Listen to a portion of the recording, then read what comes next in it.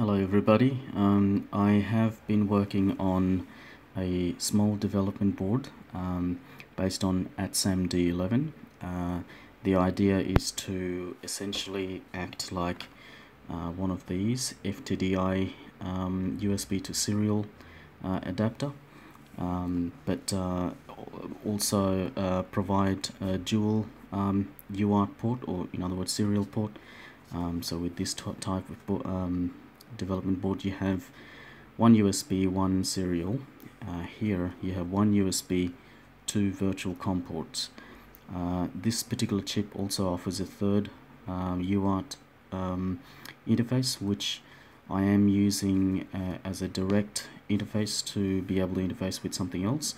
Um, so with this current setup uh, as it is now I have uh, here the ICE connected.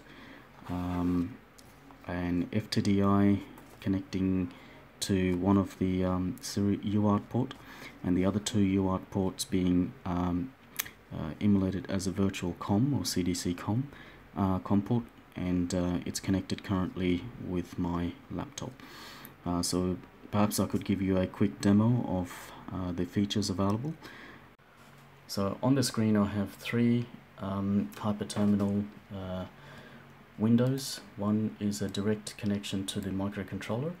Uh, the other two here, they are essentially emulated CDC um, uh, virtual serial port. So I'm able to uh, type and essentially get a um, echo back. So similarly here, um,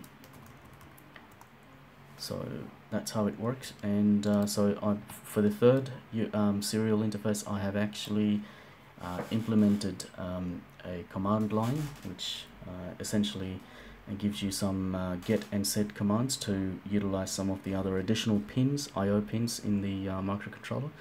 So you can uh, get analog inputs. I, I have made available two analog inputs two digital input inputs and uh, uh, to digital outputs so we can get uh, AI and this is in uh, integer numbers between 0 to 4095 uh, so that's 12 um, bit. Um, so that's the that's the analog uh, readout of the two pins. Then you can also get the analog readout sorry digital readouts of the two digital inputs and then you also have the readouts of the digital outputs which are currently set to 0 you can also set them uh, from here. So set d0 uh, digital output 0 equal to 1 and so if I go get uh, do I should get a 1 for the first digital output.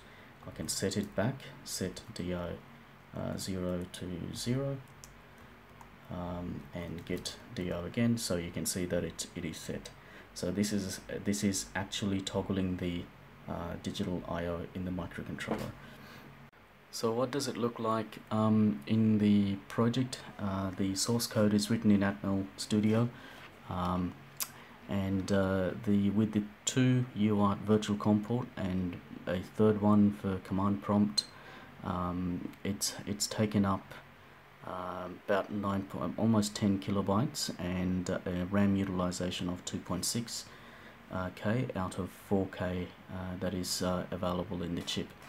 I haven't decided whether to disclose the uh, source code um, public. Um, I think I could make the hex available for other people. I'm actually thinking of um, perhaps selling some of the this um, a few of these development board uh, so we'll see how things go. And uh, here is a final um, a better look at the board again. Uh, you can see that it has uh, ground pin available uh, 3.3 volts and then the RX TX of the first port virtual COM port. Uh, it also has CTS and RTS for flow control. If you need to use it um, as a half duplex um, then you need to pull up the RTS pin uh, at present uh, with the demo that I did I connected the RX and TX pin uh, for the echo back on the hyperterminal. Uh, and uh, on this side you have the um, uh, the port the B port for the second virtual COM port. And um, you can see that you have the analog in 0 analog in 1 digital out 1 and digital out 0 and digital in 0 and digital in 1 uh, there's also a reset switch uh, available uh, on board and the data LED uh, blinks every time there is a, uh, data transfer uh, occurrence on the virtual COM port, USB to virtual COM port. These additional pinouts, they are essentially the programming pinouts for um, serial debug and also I have made some um, test points for reusing the serial debug uh, I.O. and clock pins as the third UART RX pins. The board also uh, comes with uh, the 3.3 volt uh, regulator and it also has um, the um, analog uh, reference 2.25 uh, 2.5 volts reference for measuring the analog um, accurately. Uh, that's it for now. Thank you very much. If you guys have any interest on the board, uh, do let me know uh, as I am thinking of uh, perhaps uh, producing a few and uh, selling them in future.